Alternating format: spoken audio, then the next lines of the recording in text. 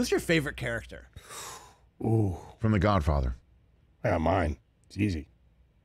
Mm. Easy. Oh, it's easy. What do you got? Is Michael. It, is it Mi- is No Michael your question. favorite? No question. Youngest Well, in the but- But- family. But, it's favorite, pro- I mean, it's favorite, like me. favorite why though? it. It's not They like he brings you a lot of joy in the movie. Like you could, I think Sonny might be my favorite. Just Well, he's the most tragic character, Michael, in the fact Right. that he had a, a, a- life of legitimacy all laid out for him, and he gets sucked into the business, and it changes him. He just he becomes a horrible human being, a monster, which is what Yeah. Kay called him at Yeah, the end of, uh, of of the second film yeah. and and then in Godfather three, which nobody really talks about very much, it's it's tragic. But so I know when you talk about enjoyment, Sonny gives you enjoyment. Like again, he says he's playing. You know, James Caan said moments ago that Rickles was his Yeah, he's playing Inspiration. like a tough is guy, kind of funny. Don Rickles, and it's funny and like he, A hothead. He beats people up. Yeah, hothead. He has got all the good one-liners. You never know, talk outside of the family, He's right? throwing Never money talk about at family the business. paparazzi, like you know the FBI. Like I don't know. I mean, Brando would a lot is amazing. I mean, even though he's really only in one. I just mean like character. Like, do you like? Oh, Tom, like Tom. I got you. Tom's then. one of Are we fa- talking about Frank? Are we talking about Godfathers one and two? Just, just okay. one. Favorite character in Godfather one Mm. is uh, Woltz, the movie, the movie. the movie mogul. Okay. Okay. Yeah, he's- he has a lot of great one-liners. Khartoum, four hooves, like beautiful. His his his his uh, horse Khartoum. He's really going for it. right. Actor. And you know, and he's the one who winds up with the horse's head in his bed. Answers the phone. Woltz is listening. Um, Tell your father I ain't no band Ain't leader. no band leader. I've heard that I heard story that too, story kid. too. That's right. I mean, right. You know, I ain't no band leader. And then mean- so and then in, and then Godfather 2 is I Frank Pentangeli. Oh, I see. You Hyman know, Roth. Hyman Roth Lee is a great character who too. taught all those guys. I mean, that was his Right. school that made those guys act. A lot of them actors. Yes.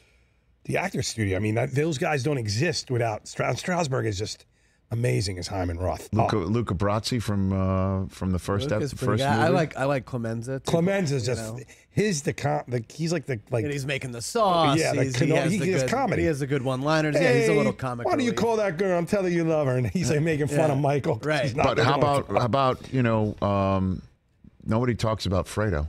He's kind of like the Bruno. Nobody talks about Fredo. in part two? It's like Nice Encanto reference. Thank you, sir. Um, in that uh, Fredo's character, Moe Greene, is a great character oh too. yeah. Alex Rocco, the actor Alex Rocco, He's really who good. played the uh, the music executive in that thing you do Yes. as well.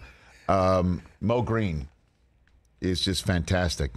There's a lot. You know, can't get a drink at the table because of what Fredo's doing with the uh, the waitresses, two at a time. And so and so he he is uh, amazing, but I, I, I and and the actor John Cazale who played Fredo, he died very early in his life. I think cancer killed him.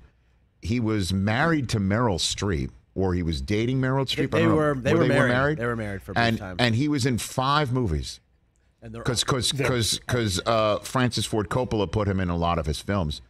Um, well, he was in five movies. They were all nominated for Best Picture. Both Godfathers, one and two, Dog Day Afternoon, which he was in with Pacino, uh, The Deer Hunter, and then the fifth one is is is a movie that I don't think a lot of people have seen. It's definitely one of the fewest mentioned Francis Ford Coppola films. Um, Gene Hackman is the star Yes. in it. Um, there are some cameo roles in it by Robert Duvall and a very young Harrison Ford. yeah.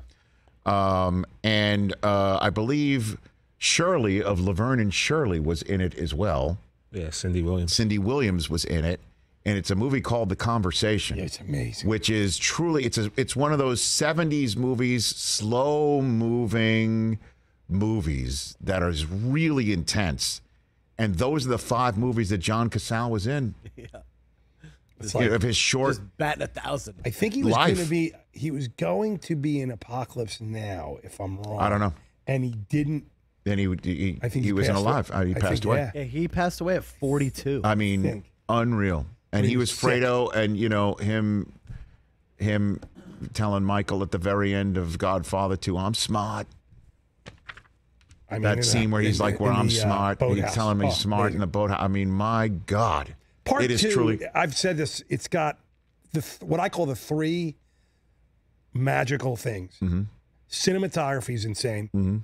The story is like, Remarkable. beyond remarkable, and then the, the actors, the acting is the best ensemble. Up to like it's like Sopranos was always like that. Succession like that. That movie has those three. Well, I mean, you take a look It's insane. at. I mean, I think it's you know very kind of you to mention Succession in the same breath as all this, totally. but Now, but today. but but but now. but and and we've just talked about both films and the cast, and we didn't even mention De Niro plays the young Vito Right. Corleone. Yeah.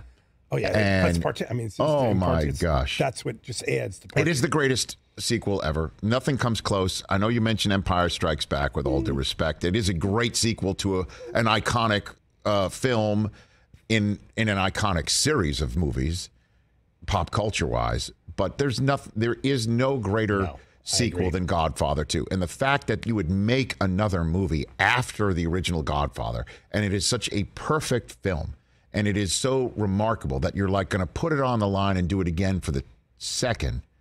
You know, that's why everyone was kind of disappointed that you're going to make a Godfather Part 3. Well, now they've they've edited the. the- It's, I need to see it new- again. I've only the new seen one. it I've only seen it a They've couple of times in not they've many done years. a re-edit of the three of them Right. together, and it's amazing.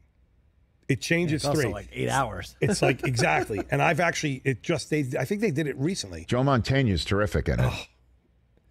Andy Garcia. And Andy Garcia's in it as well, right? who I mean, becomes- you know, um, I got to tell you though, uh, favorite character, I guess in one would be again, it's Woltz the uh, the movie. So maybe, maybe we Studio don't, we don't go main characters like like the offshoot okay, guys. so you got to do offshoots. Well, I just went offshoot. That's and what I mean. Like, so like you can't say Michael or Sonny. Like you're Okay, gonna say so, some uh, of the like the side guys. Moe Greene, Woltz. Oh God, Tessio is Abe Vigoda. Oh, phenomenal. Can you get me And off the hook for Tessio all time? Clemenza? The answer for all is no. time, for all time sake. Clemenza's my guy. To leave the gun, take the cannoli. I like Clemenza, I've too. said that line more. I like. Clemenza is also a great name for a dog. And then Yes. in in in Godfather Part Two, it's without a question Frank Pentangeli who Oh. winds up turning state's evidence and then doesn't.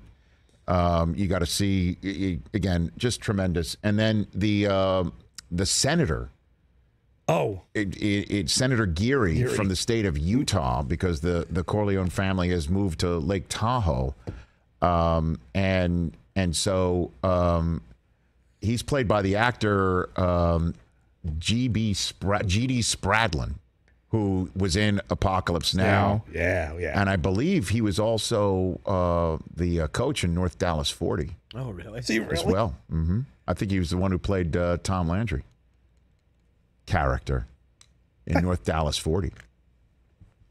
Oh yeah, man. He was in Apocalypse Now. He was in. He was, and uh, yeah, he wound up in a in a tough spot in It's Godfather Harrison Part Two. Ford was in. Uh, he had a cameo. It, I call it a cameo because he's just one In, scene. in the conversation, and in Apocalypse Now, he plays this Mm. in one scene. I wonder why he didn't make.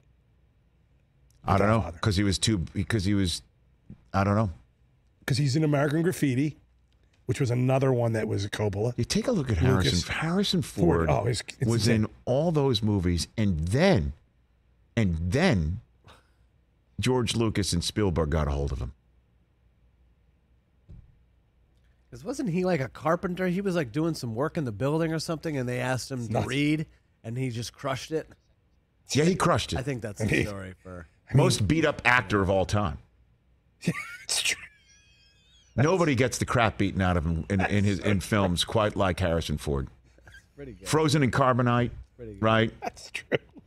Snakes. Eh, eh, Snakes, I mean, right? Even as the president of the United States on his plane, right? He gets beat up. He's the president. He gets beat up as the president. Who gets beat up as the president? Even when he's flying his own plane. I know. oh. It's too. That one's too soon. Too soon. Too soon. Who's the? Is he the most beat up actor in the history of acting? I mean, Tom Cruise has taken a beating, Clint Eastwood. Tom Cruise. Couple Clint but in terms, took uh, honestly. Tom Cruise took a beating. Indiana Jones taking a beating. Han Solo's Yes. taking a beating. Who's getting? He's get, he just gets beat up. Did he? Did he get beat up in Witness?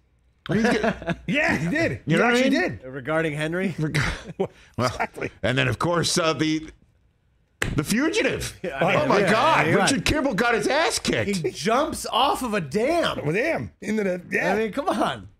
You're pointing my gun at me. I don't care. Harrison Ford. Yeah, man. How did he not wind up in The Godfathers? We can ask know. him that. And then his answer's probably be, I think it turned out all right. hey, you watched all the way to the end. Thanks for that. Watch more right here.